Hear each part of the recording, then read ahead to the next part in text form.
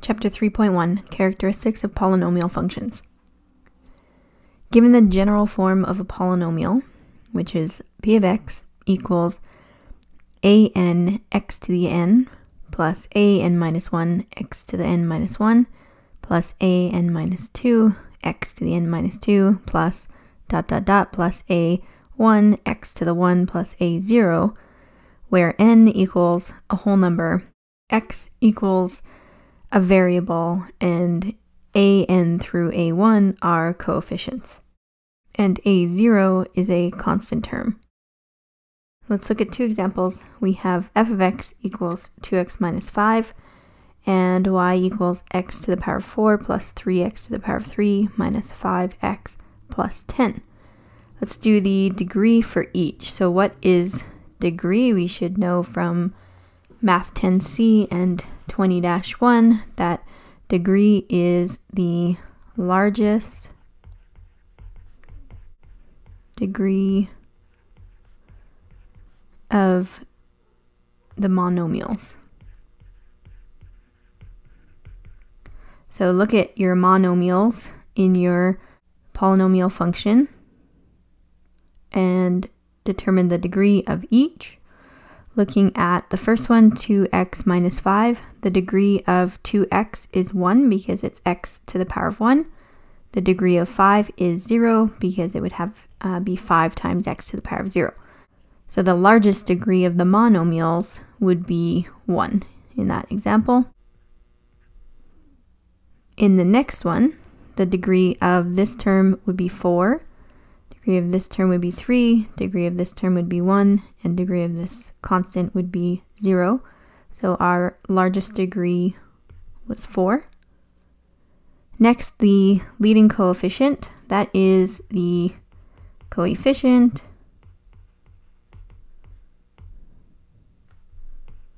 of the largest degree monomial. So it's connected to the degree. The term that gave us the degree, so the monomial with the highest degree, we want to look at the coefficient that's attached to that. So in f of x equals 2x to the 1 minus 5, our leading coefficient would be 2 because 2x is the highest degree term. So we get 2. In the next term, our highest degree monomial was x to the power 4, the leading coefficient would be a 1. If you just have x or x to the power of something, the coefficient is positive 1. So our two numbers for degree and leading coefficient of 2x to the 1 minus 5 came from the term 2x, which is 2x to the 1. The 1, the degree, is the degree of our polynomial, and the 2 from this monomial is our leading coefficient. Over here, the term was x to the power of 4, which is the same as 1x to the power of 4. So our degree was the exponent on that term, and our leading coefficient was the coefficient of that term. Next, the constant term. This is the term with no variable.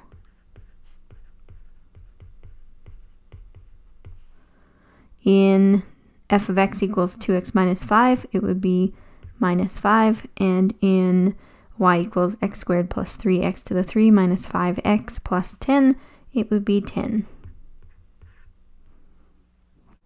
We could write a constant term with a variable if we put the variable to the power of 0, so we would have a0 is the coefficient on this term, and then we could write x to the power of 0.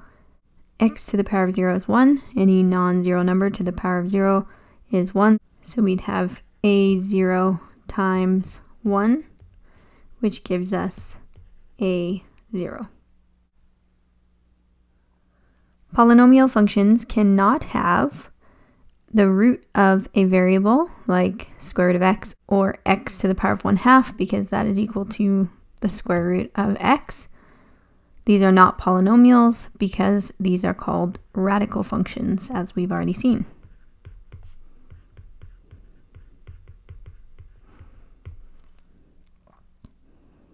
polynomial functions cannot have negative or fractional powers of a variable. For example, x to the power of negative 2. This from Math 10c exponent laws we know is 1 over x to the power of 2, which then becomes a rational. So this would be a rational function, not a polynomial function. And x to the power of 5 over 3, again from our exponent laws from Math 10c, a fraction exponent of 5 over 3 is the same as the cube root of x to the power of 5. So now that becomes a radical function.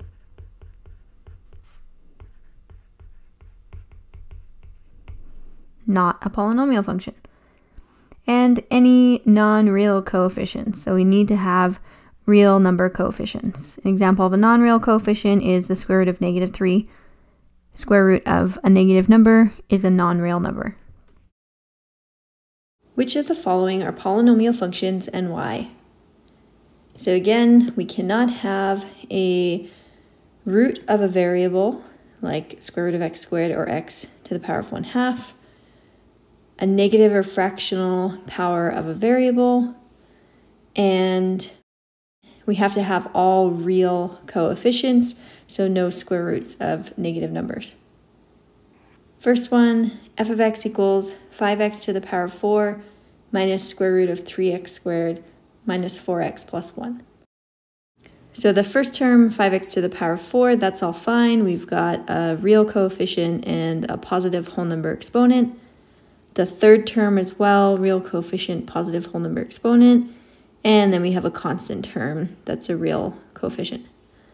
This term here is where it looks like there could be a problem. We have minus the square root of 3x squared. So we technically have a variable under a root, but let's take a closer look at that.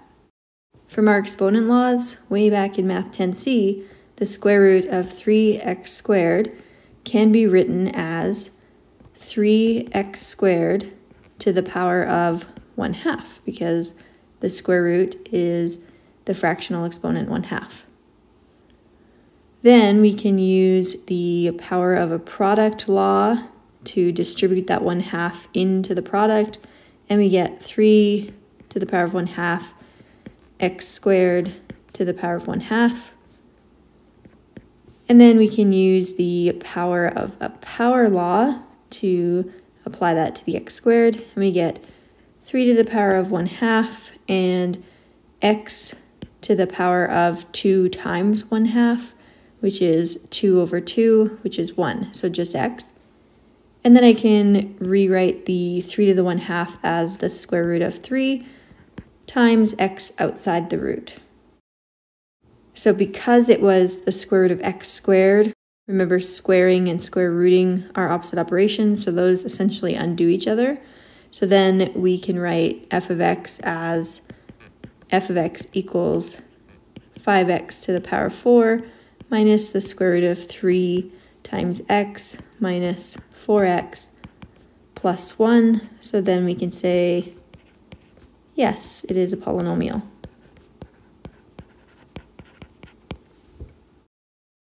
All the coefficients are real numbers and all the variables have positive whole number exponents.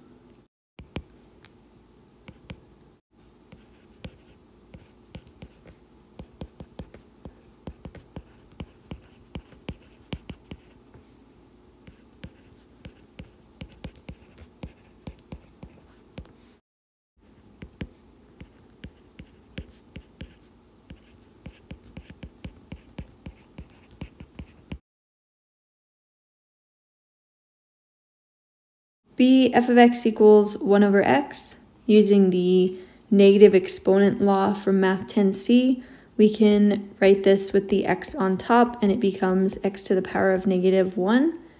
And then we know that this is not a polynomial because we have a negative exponent on the variable. We have to have positive whole number exponents on the variables for polynomials. Part C, f of x equals the absolute value of 3x squared minus 2x to the power of 5 plus 4. If we have a absolute value in our function, normally we would call that, that would be an absolute value function. But in this case, let's take a closer look at that term. It's absolute value of 3x squared. The absolute value means the positive of whatever 3x squared is. So we're always taking the positive. Well, 3 is a positive, and x squared, whatever we put in for x, whether it's positive or negative, x squared will be a positive. So we've got positive 3 times a positive number, which would always equal a positive anyways. So we can rewrite this function as f of x equals 3x squared minus 2x to the power of 5 plus 4.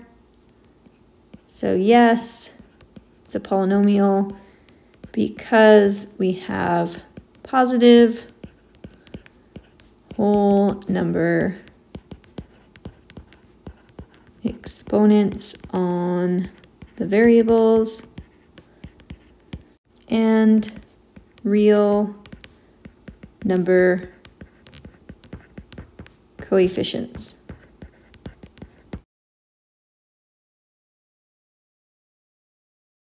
d f of x equals x to the power of 1 half minus 7. We can tell right away, no, this is not a polynomial because we have a fraction exponent on the variable.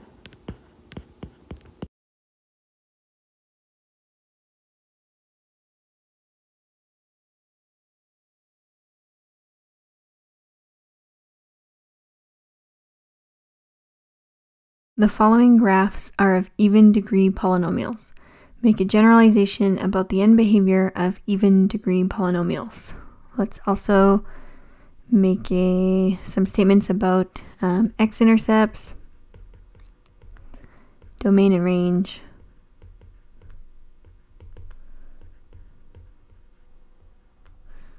and vertex.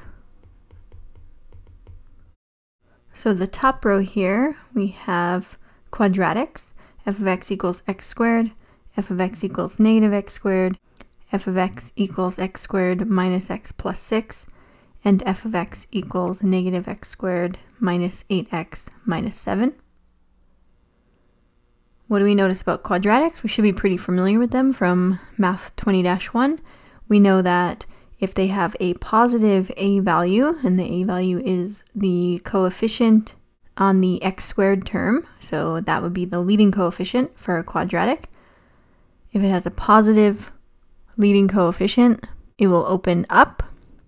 If it has a negative le leading coefficient, like this one does, and this one does, when it's in standard form, the a value is negative, then it's going to open downward. We also know that quadratics have a max or a min point. The vertex is a minimum point if the graph opens up and a maximum point if the graph opens down. We also know that quadratics can have 0, 1, or 2 x-intercepts. For example, this one here, the third one, has 0 x-intercepts. This one here looks like it has one x-intercept, which would be the vertex, and then this one has two x-intercepts. The next row, these are quartic polynomial functions, which means that our degree of our polynomial is 4. We have f of x equals x to the power of 4, and we see that that one opens up. Kind of looks like a quadratic, but it's really wide down here we have f of x equals negative x to the power of 4, which is the same as the first one, except it's opening down. Then we have f of x equals x to the power of 4 minus 4x to the power of 3 plus x squared plus 7x minus 3, which looks like this, where we have kind of a W shape and it's opening up. And then we have negative x to the power of 4 plus 7x squared minus 5, which all has kind of an M shape and is opening down. And we see with the first two, it kind of looks like they maybe have one x-intercept. And with the next two, we have one, two, three, four, one, two, three, four. So some statements that we can make about even degreed polynomials. Let's look at two different cases based on the a value. So first with a positive a value. Polynomials with even degree that have a positive a value, they're going to open up, which means the end behavior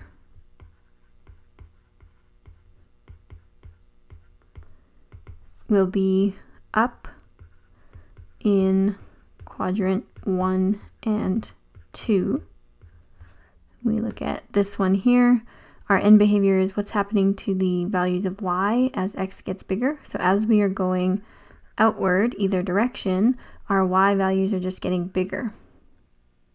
The ends of the graph are going up in quadrant 1 and 2. We can also state this as as x approaches positive or negative infinity, y approaches infinity.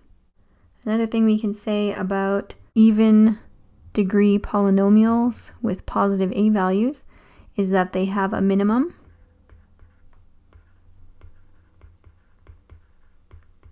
So the vertex is a minimum. If it opens up, it's going to have a minimum. About the x-intercepts, we can have no x-intercepts, but the maximum max number is the degree of the polynomial.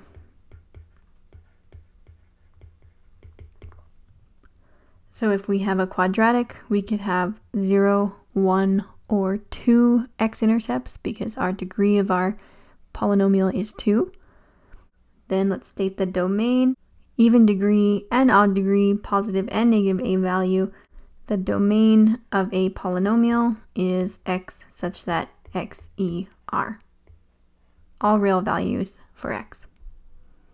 For the range, it's a little different. For even degreed positive a value polynomials, we have y such that y is greater than or equal to our minimum value, y, e, r. So whether the polynomial is degree 2 or 4 or 6 or whatever even number, if the a value is positive, then the polynomial is going to open up, which means it will have a range y greater than or equal to whatever the minimum value is. Now let's look at when we have negative a value.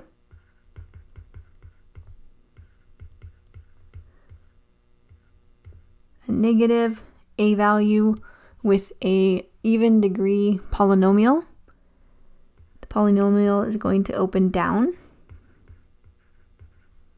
which means our end behavior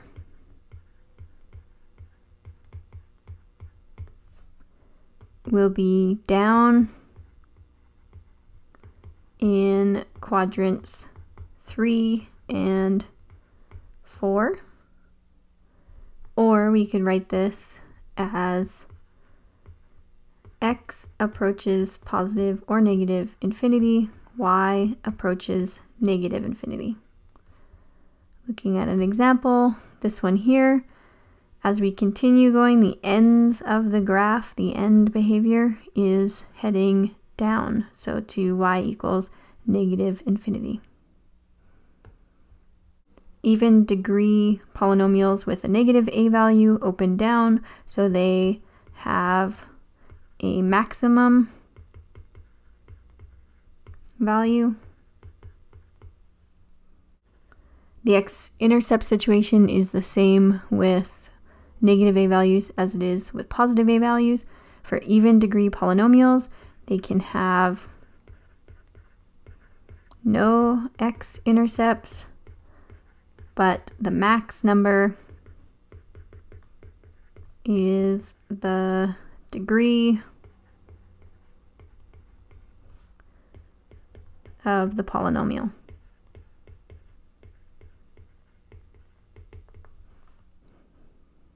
Again, domain is the same for even and odd polynomials, whether they have a positive or negative a value.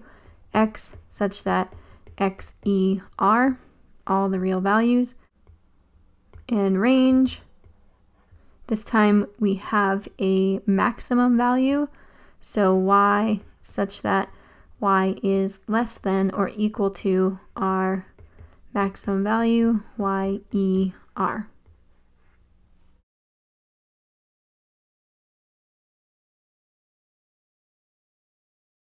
The following graphs are of odd degree polynomials.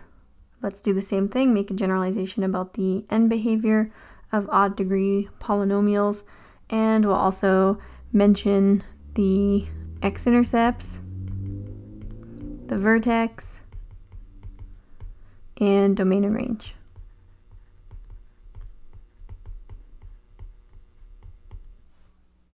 Let's look at our graphs. The first one is a linear function, so the degree is 1, x to the power of 1, and that just creates a straight line. Next is negative x plus 4, that's also linear, so we get a straight line. Next is x to the power of 3, which is a cubic function. And we get this kind of curvy line. And then negative x to the 3 f of x equals x to the power of 3 minus 2x squared minus 2x plus 6. It's a curvy line with a little more distinctive curves. Negative x to the power of 3 plus 7x. Same thing, curvy line, but quite big ups and downs here. f of x equals x to the power of 5. That's a quintic, so it looks quite a lot like a cubic, that case. And then here's another quintic, negative x to the 5 minus 4x to the 4 plus 40x to the 3 plus 160x squared minus 144x minus 576. So we see it's got quite a few curves, up and down, up and down. So let's break this up again into positive a value and negative a value. So if I look at all my negative a value functions, there's one, there's one, there's one, and the last one. What do I notice? Going from left to right, all of the graphs go from quadrant 2 down to quadrant 4. Quadrant 2 down to quadrant 4. Quadrant 2, down to quadrant 4. Quadrant 2, down to quadrant 4. Okay, if we look at our positive A values, they all go from quadrant left from left to right. They all go from quadrant 3 up to quadrant 1. Quadrant 3 up to quadrant 1.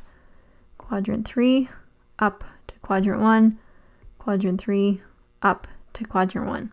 So that tells us our end behavior. Doing the same thing we did above, starting with positive A values.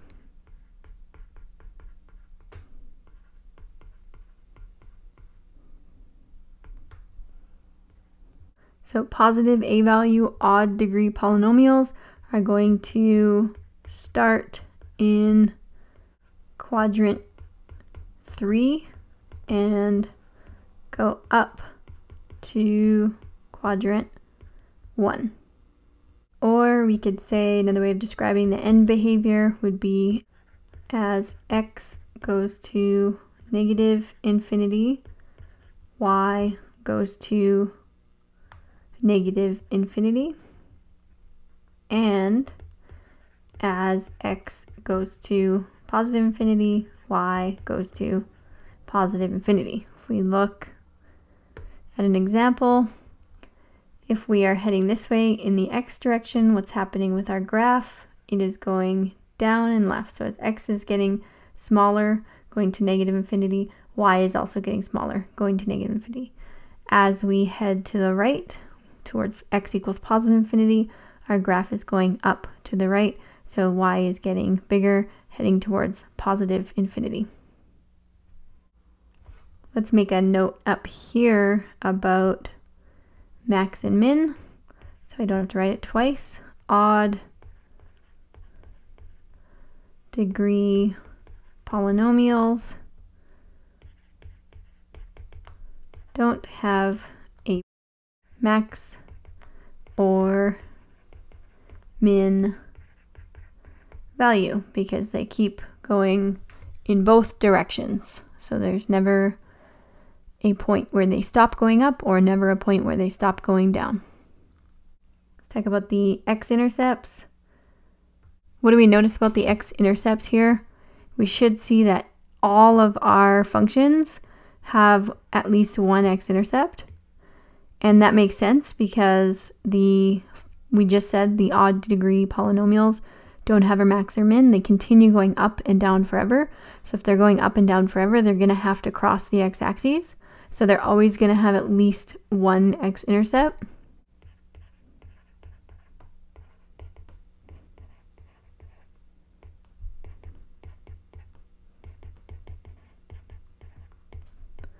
But also the max number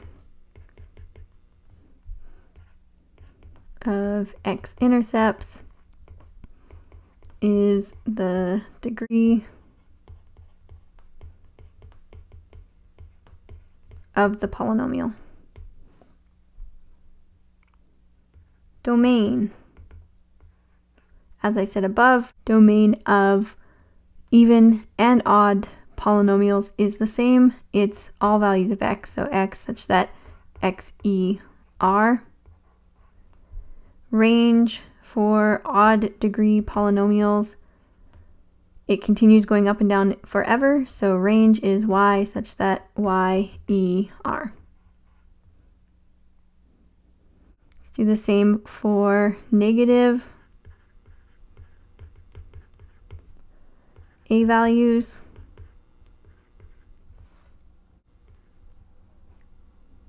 Looking at some examples here of our negative ones, there's this one, so it starts in quadrant 2 and it goes down to quadrant 4.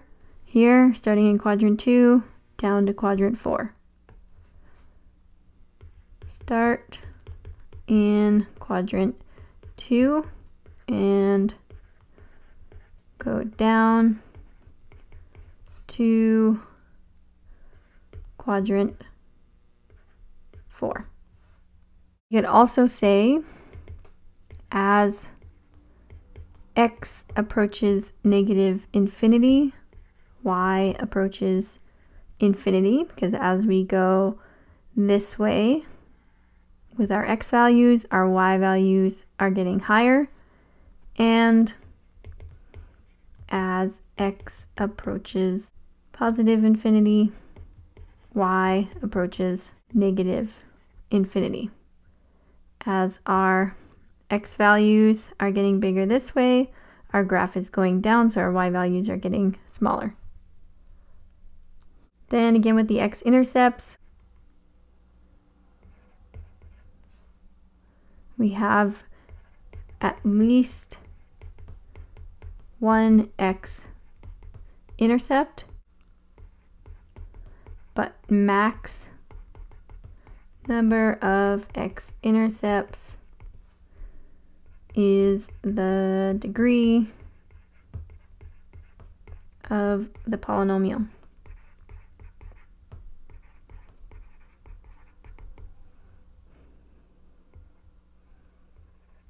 Domain, same as our other polynomials, x such that x, e, r.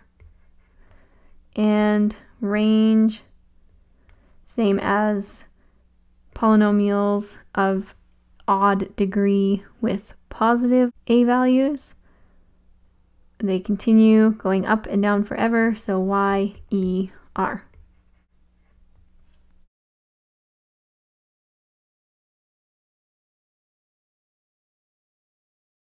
So to summarize chapter 3.1, if our n value, which represents the degree of the polynomial, is an even number and our leading coefficient,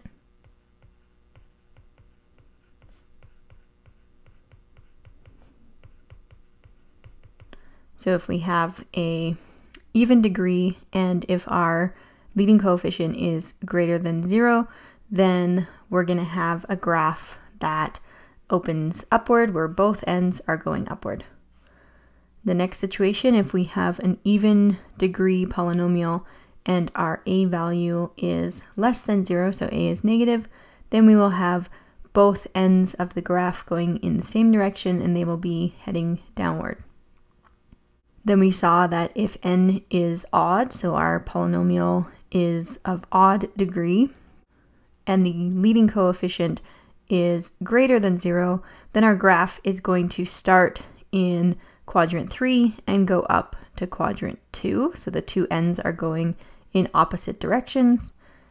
And finally, we saw that if we have an odd degree polynomial with a leading coefficient that is less than zero, so negative, then our graph is going to start in quadrant two and go down to quadrant four. And again, our ends are going in opposite directions. Classifying polynomials.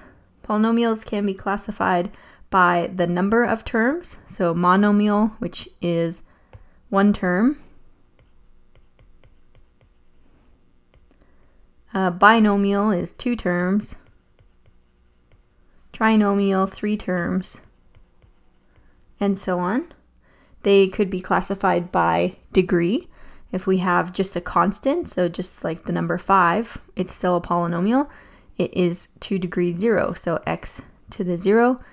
Linear would have degree 1, x to the power of 1. Quadratic has x to the power of 2. Cubic has x to the power of 3. Quartic, x to the power of 4. And quintic, x to the power of 5, and so on. We could classify polynomials by their end behavior, which is the behavior of y as x becomes larger. So as x approaches positive and negative infinity, what is happening with the y value.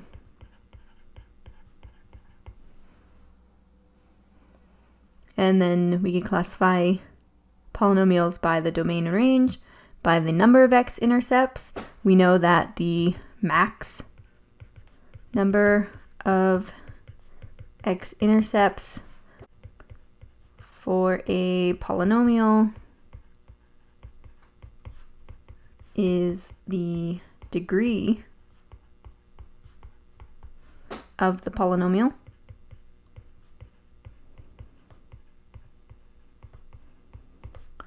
We also saw that odd degree polynomials have at least one x intercept. Even degree polynomials can have zero x intercepts, but odd degree polynomials, because the two ends go in opposite direction, the graph is going to have to cross the x-axis, so we have at least one x-intercept. And finally, we can classify polynomials by the type of coefficient, so do they have integral coefficients, which just means integers? Or do they have rational coefficients, which means fractions? Do we have real number coefficients, which includes integers and fractions and irrational numbers? Describe the end behavior of the graph of the function f of x equals negative x cubed minus 3x squared plus 2x plus 1. State the x-intercepts, y-intercept, and if the graph has a maximum or minimum. Choose the correct graph. Okay, so we see that our degree, the degree of our polynomial is 3 because that is the highest degree of any of the monomials. And our leading coefficient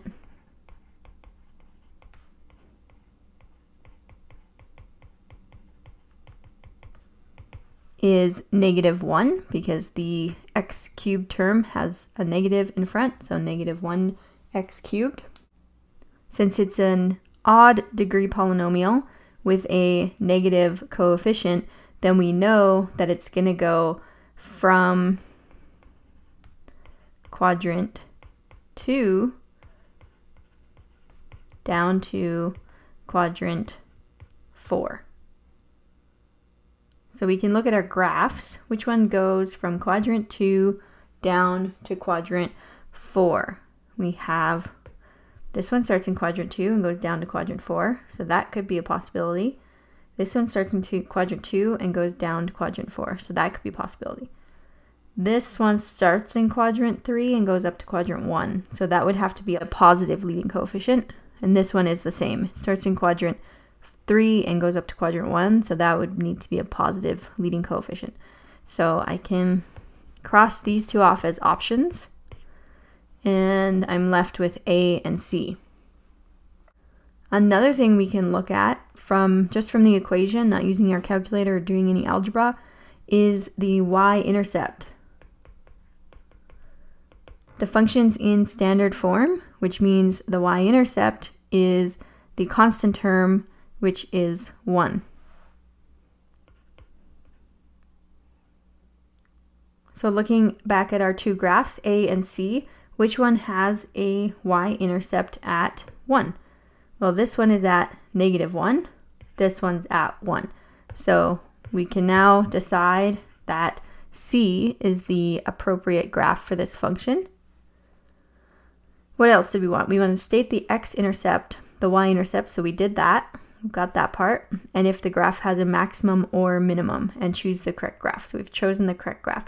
So we need to do x-intercepts and we need to do the max or min. So it is a cubic function. Do cubic functions have maximum or minimum values?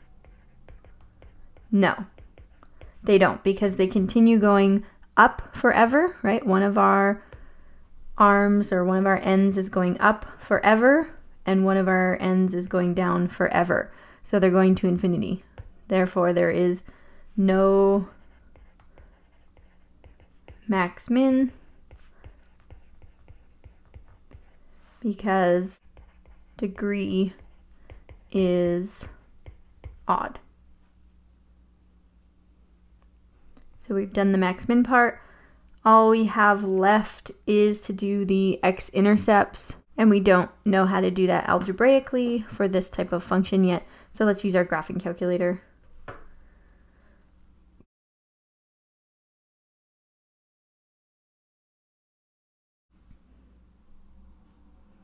Clear what's in there, enter our function, negative x to the power of 3 move to the right to get out of my exponent, minus 3x squared plus 2x plus 1 minus x to the power of 3 minus 3x squared plus 2x plus 1. Good. Looks correct. Graph that. And I can see my x-intercepts. If you can't see your x-intercepts, change your window. You could even use standard. So I want to find my x-intercept second trace number two. I'm going to start with the one on the farthest left. So left bound of that point is above, hit enter. Right of that x-intercept would be below it. Hit enter and the zero is negative 3.491. We are using our calculator x equals negative 3.491. Next one, second trace number two. Now I want to find this x-intercept that's just to the left of the um, x equals zero. So below that would be left, hit enter. Above that would be right, hit enter. And it's negative 0.344.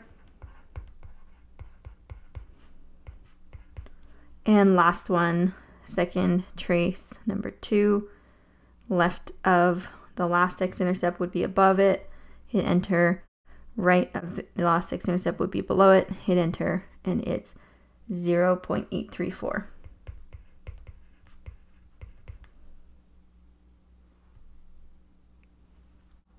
Okay, did we do everything? So we got our x-intercepts, describe the end behavior for the graph. So we kind of did that here, but we can also write that maybe over here and behavior as x approaches negative infinity. Let's take a look as we go this way with our x values. This part of our graph is going up, so y is approaching positive infinity. As x approaches negative infinity, y approaches positive infinity. And looking the other way, as x approaches positive infinity, our graph is going down, so y is approaching negative infinity. As x approaches positive infinity, y approaches negative infinity.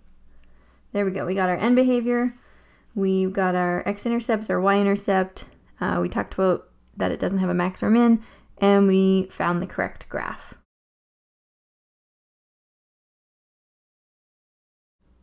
That brings us to the end of chapter 3, lesson 1.